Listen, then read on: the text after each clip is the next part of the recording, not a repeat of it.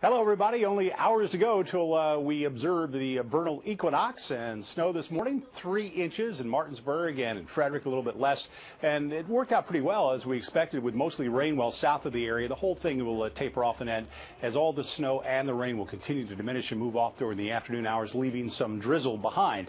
Temperatures above freezing everywhere will creep up a few more degrees. So with the wet nature of the snowfall, I think uh, a lot of the snow will uh, continue to melt off through the afternoon and the evening hours. So somewhere around 41 with the clouds. We'll see clearing late tonight.